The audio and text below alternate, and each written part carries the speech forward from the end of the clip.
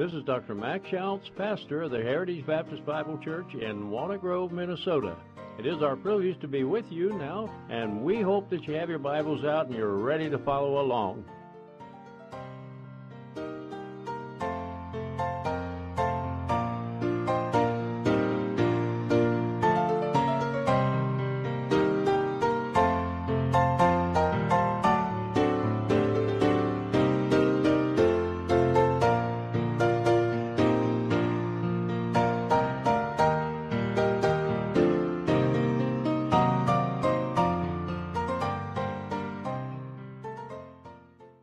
Thank you. It is so good to have you join with us again at the same time each week, and we do count it our privilege to have you follow along and to uh, open your Bibles, if it is at all possible, if you're in your homes, and to follow with us in our Bible studies. We do always want to take time to thank you because we do get quite a few letters and uh, people thanking us here for the broadcast, and some of them are first-time listeners that have been invited by someone who's listened to the broadcast for a number of years, and uh, they have uh, invited their friends and so forth. So we want to thank you for writing us and let us know that you listen and you appreciate the broadcast, and uh, we appreciate that very, very much. But Matthew chapter 7, here we have, and it's interesting here about the demons. And uh, we brought this out before, but maybe we'll just hit it once. Not everyone that saith unto me, Lord, Lord, shall enter into the kingdom of heaven, but he that doeth the will of my Father which is in heaven. I had a lady two weeks ago ask me, said, What what does that mean, doeth the will of the Father?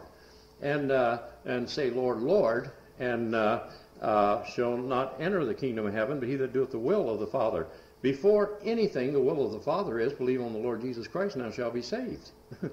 because if we go on, many will say unto me in that day, and here are your religious people going to heaven on the good works, pretending to have power with God, and they're lost on their way to hell. Lord, Lord, have we not prophesied in thy name? Haven't we not held the Bible up and said, hey, hey, we believe the Bible from beginning to end and, and praise God, glory to Jesus and all this sort of thing, and we hop around and do through all these emotions. And uh, I watched one guy do that, never opened the Bible again. We need to get back to the Word of God. That's what we need in America. Back to the Word of God. Never opened the Bible the rest of the sermon. Just ran back and forth across the stage and yelled and screamed and everything else. That was the only time he opened the Bible. But he says, Lord, Lord, have we not prophesied in thy name? Every false preacher holds up a Bible. They hold up a Bible, but they don't believe it. Take little bits and pieces. And in thy name have we not cast out devils. Devils, when it, we only have one devil, but it's demons. How can they cast out demons? Here's the trickery of Satan again. I've seen it time and time and time again. You're in a Pentecostal meeting, fella comes forward, he's possessed with Satan. I command you, and the preacher gets up, goes through his spiel and everything else, and goes through all these emotions. And uh, one rocks fact, we had him in our church speaking, and now he cast out demons. And uh, I, I couldn't believe I've seen him on television here uh, a few weeks ago uh, Bob Larson. How many of you ever heard of Bob Larson, the ex-rock star and so forth? He's now casting out demons. He's commanding the demon. I couldn't believe it because we had him speak in our church down in Indiana uh, one uh, one Sunday. And uh, but anyway, to make a long story short, man comes forward. We're not told about accepting Jesus Christ as your Savior, and the demon automatically goes out. We're not told that. We come forward, and the preacher now, he is the power of God in this assembly here and he comes forward and goes through his bit and spiel and everything else, and then it always usually ends up this I command you by the name of Jesus Christ and the authority of God, you depart from this man and never come back. And of course, the crescendo rises, and we get up yelling and screaming and so forth, like that. And that's what scares the demons. See, you got to yell a little bit. But anyway, the demon comes out, and the guy shakes and so forth, and it is actually true. The demon does come out. And the guy was demon possessed. But the demon didn't come out because he had to come out. The demon is saying, You stupid people, you stupid preacher, you have no power to cast me out at all. The apostles did, the 70 did, but you don't. But since these stupid people are here believing you have this power, I'll just show them and we'll deceive them and I'll play the game with you. So the demon comes out of the man. He shakes, and everybody in the auditorium, oh, this man's a great man with power and the power of God. Look, he cast that demon out. The demon came out of his own free will to go ahead and play the game with the preacher and seal the fate of the stupid people that bought this when nowhere in the Bible can any man cast out a demon after the apostles. And let me say this the apostles could cast out demons, they could heal the sick and raise the dead, and whoever the apostles laid their hands on. If you go to Acts chapter 7, you'll find out Stephen was one that the apostles laid their hand on, and in the same chapter, he did many miracles. Only after that. After the ones the apostles laid their hands on, nobody else you'll ever find in the Bible performed the miracles. It's not there. It ended there. Now, th- that's sort of interesting. Now, when you come today, and at the time, I don't know any false teacher demons, or Satan, when Christ was on the earth and his apostles and the 70 had the power to heal the sick, raise the dead, that ever performed a miracle and duplicated healing the sick and raising the dead. I don't think God ever gave that power to Satan during the apostolic time. At least we don't have a record of it. And then when it was taken away from the apostles after the Word of God was completed, Paul had that because he was the apostle that replaced Judas. So he was an apostle that had the power of healing. After Acts chapter 28, you find no miracles of healing anywhere after that by people or there. No more. They passed off the scene. Therefore, from the church age on the day of Pentecost, no one has the power to heal anybody else.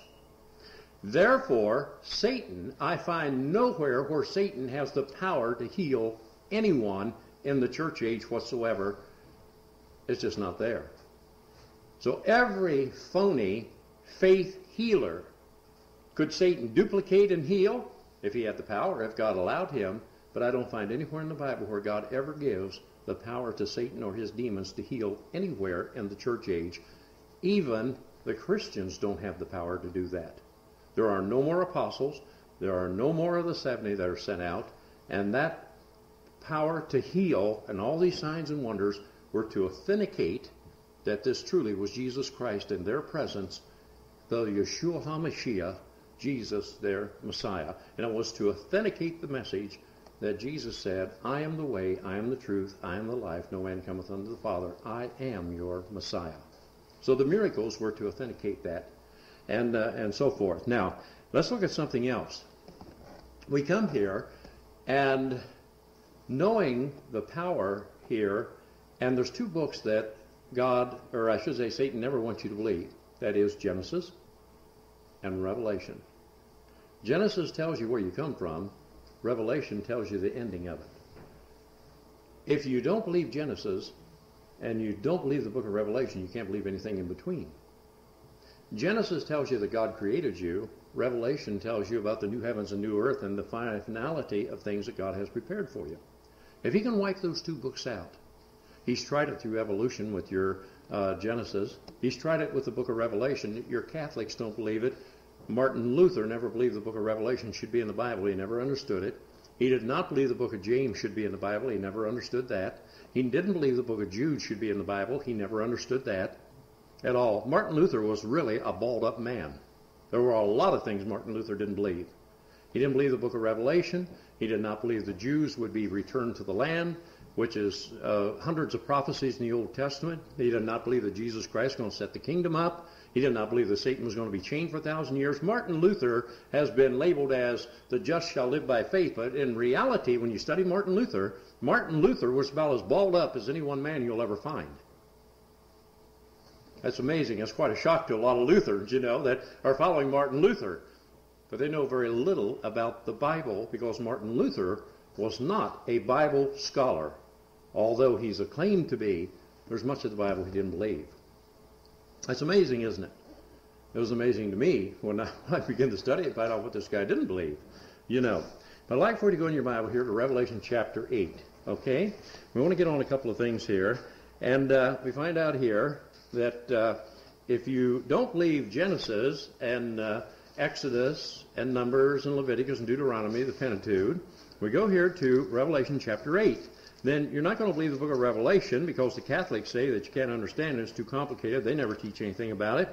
Lutherans don't get on it because they can't be, and Martin Luther, since they follow him. But go to Revelation chapter 8 and verse 8.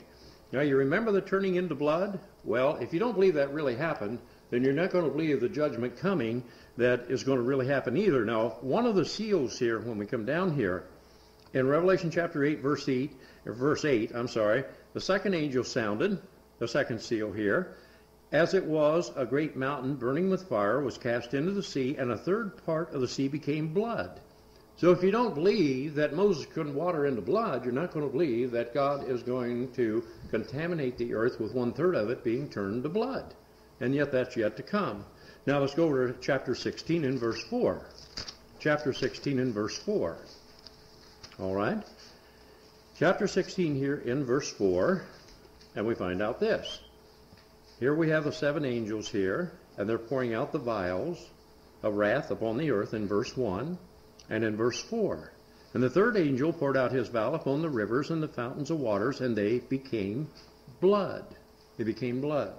We're going to watch that from heaven. It'll be exciting to you when you see it. Now, concerning the power of Satan, and we say one of the greatest false miracles, when he can really perform the miracles, is going to be in the, the tribulation period after the church is raptured home. Now let's go to Revelation chapter 13, all right? Let's go to Revelation chapter 13, where God gives him this power, all right? Now when it talks about in 2 Thessalonians chapter 2 on down, in verses 8 and 9 and so forth, after Christ is coming back in his judgment, after the working of Satan and his miracles. So we come here in Revelation, here, chapter 13. I'd like for you to notice this. In chapter 13, you have the giving of the two beasts. One is the religious beast, and the other is the governmental, or uh, the beast there. Uh, that is the Antichrist, and so forth. Notice in verse 11. And I beheld another beast, that's a religious beast, coming up out of the earth, and he had two horns like a lamb, and spake like a dragon. And he exerciseth all of the power of the first beast before him, and he causeth the earth and them that dwell therein to worship the first beast, that's the Antichrist, whose deadly wound was healed. Now, he had suffered a wound by the sword, and so forth, and then it was healed. It came back to life. And he doeth great wonders, so that he maketh fire come down from heaven on the earth in the sight of men. And he deceiveth them that dwell upon the earth by the means of those miracles which he had power to do in the sight of the beast. Now, here's when he brings uh, back the man to life here, the Antichrist. That's the only time that I know that Satan has the power to resurrect anyone and bring him back to life. And this is not in the church age, not in the Old Testament, but as far as in the seven year tribulation period and only when God gives him the power to do it on this particular occasion. But notice again in verse 14, and deceiveth them that dwell upon the earth by the means of those miracles which he had power to do in the sight of the beast. Miracles, miracles, supernatural things. He will be turned loose to do miracles that he cannot do now. He cannot do them now, but he will be able to do them. His masterful work now is to deceive you by sight by having men that are his demon inspired ministers, claiming to be the ministers of God, but in reality they're nothing more than ministers of Satan. Because they're claiming certain things that will never take you to heaven, and they're very, very religious, and so forth. So his main concern now, with the power that he has, is through men, and he sends his demons in to the preachers to give a false gospel so that it will have people trust that false gospel and plunge into hell when they die. But these miracles he will be able to do in the tribulation period. Now, notice here, and he had power to give life into or unto the image of the beast, that the image of the beast should both speak and cause as many as would not worship the image of the beast should be killed he had power to give life unto the image. That's amazing. Make an image of a beast, of the Antichrist, and that dead thing actually speak. Isn't that something? That's power, brother. That's power. He doesn't have that power now. God has not given him that power today. But boy, can he deceive.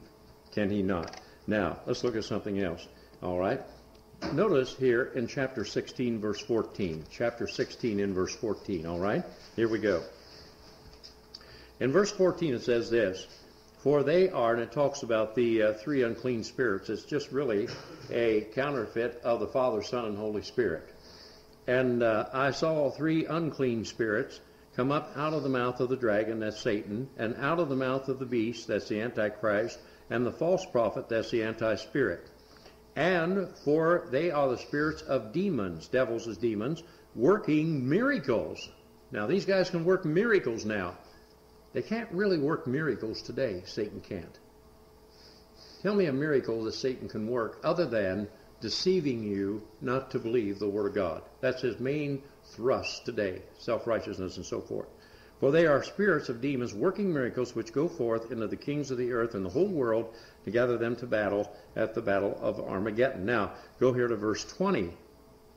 Into verse 20. I've got the right one here. Chapter 16, verse 14, and let's see here. No, I got the wrong one here. Get the wrong verse there. Okay, we'll stop on that. See how our time's going. Time's sort of slipping away here. I think that's a good place to stop right here because we want to get on one more thing here about being the children of wrath. We want to get on that just a little bit uh, more next week. But uh, let me just say this. Here we are at a time, the only offensive weapon we have is the Word of God. What does the Lord say? This is why it's so important to study to show thyself approved unto God, a workman that needeth not to be ashamed, rightly dividing the word of truth. This is why it's so important to not forsake the assembling of yourselves together as some have in like manner, but exhorting one another. You are to be in church on Sunday morning and when the church doors are open in these last days before Jesus Christ comes. Because this is your protection. You need the fellowship of other Christians you need that you need that fellowship. You need the teaching of the Bible so that you can go out and defend the Word of God when the preacher's not there. And you need to just be in the presence of the Lord when the Word of God is taught. You need to have that intake of the Word of God if you're going to be a strong Christian. You can never grow as a Christian without the Word of God. Grow in the grace and knowledge of the Word of God. There uh, in 1 Peter chapter 5 and verse 8 it says, Therefore the old devil walketh about, seeking whom he may devour. There was a time back I went hunting. And uh, when, I, when I got home at the end of the day, I found out my leg began to itch. My leg began to itch. And uh, so I pulled up my pants leg, and I had black dots all over my legs. Black, I mean, they were covered they were covered, just black dots. So I thought they were little seeds that fell off of something when I was tramping through the woods and so forth like that. Well, I found out they weren't. I found out they were some kind of little vicious bugs. They were the size of a pinhead. You couldn't even tell they were any kind of a bug, just the size of a pinhead. So I took my knife and I scraped them off and so forth like that, and they're just, just the size of a pinhead. You can't tell they're alive even. They are vicious, vicious little things. So I began to scratch my leg and my ankles and everywhere else that I got bitten by these little things. And finally, my wife said, You better call the doctor here because this is not good. So I called the doctor and I went down and seen the doctor. And he said, Yep. He said, These are the most vicious little things you will ever find. And he says, They they're vicious. They're, they attack you, and my whole leg was just covered, and my other leg was covered. But what I was just illustrating, isn't that like old Satan in a way? Now, not that he sent the bugs, but I thought, I didn't even know I had them on me. And it was so slick, they were on there, didn't even feel them bite or anything. I just, my legs started to itch, and I pulled up my pants leg, and there I am, black spots everywhere. You can already see my leg. So I'm taking my knife, scraping them off, and then they had already, he said, they got the most poisonous, venomous secretion in them for their size of anything I know. Then he was telling me about a fellow got in an alfalfa field and got attacked by him, and his face was about a fourth bigger than when he came in. Didn't even recognize the man, and it was horrible. So I had to go get a tube of salve. It cost me forty-seven dollars and fifty cents, and seven pills. And uh, but I thought, isn't that just like old Satan works? He comes in so slick and so easy, and you can't even feel his presence, and he just sort of takes over a little bit. And then as time goes on, after he sort of gets your thinking, maybe he'll get you mad in church. Just so, well, I'm not coming back. However he works, any way that he can work to get you not to obey the Lord. He's slick, isn't he? Just slicker than all get out. And he always plays on our feelings and our emotions and our, uh, hey, nobody can do this to me. And how many times? Any of you ever got your feelings hurt? And then after a while, you look back at it, maybe a, a, a while later, and you think, that is sort of stupid, wasn't it? I have. I don't know. Maybe you're different. But get your feelings hurt, and then you look back and think, oh, I don't want to admit it, but it was sort of stupid, you know, really. There's worse things in life to worry about than getting my feelings hurt because somebody didn't say, Oh, that was a wonderful message this morning, Pastor Younce. That was really great. And nobody said a word to me. And I studied and studied and studied. And when I went out, I thought, this isn't worth it. And after all, nobody appreciates me. I think I'll resign next week. Now I get thinking about it. That's sort of stupid, old Maxie. You just, what you just uh, got a little bit too much pride there. You got just a little bit uh, you're not in it for a popularity contest. Did you preach the Word of God of what you studied? Yes, Lord, I did. Fine, forget and hang it up and throw your pride down the window. And what do you want somebody to pat you on the back every time you preach a sermon? Well, I see our time has slipped away here this Sunday morning, and it just seems like it goes so fast. But we hope that you'll trust Jesus Christ as your Savior, believe on the Lord Jesus Christ, and thou shalt be saved. Well, we hope you'll visit our website. It's www.heritagebbc.com, and we hope you'll take time to write. Our mailing address is the Heritage Radio Bible Class, Post Office Box 573, Walnut Grove, Minnesota, and our zip code is 56180. Until next week at the same time, may the Lord richly bless you as we ever pray, even so come, Lord Jesus.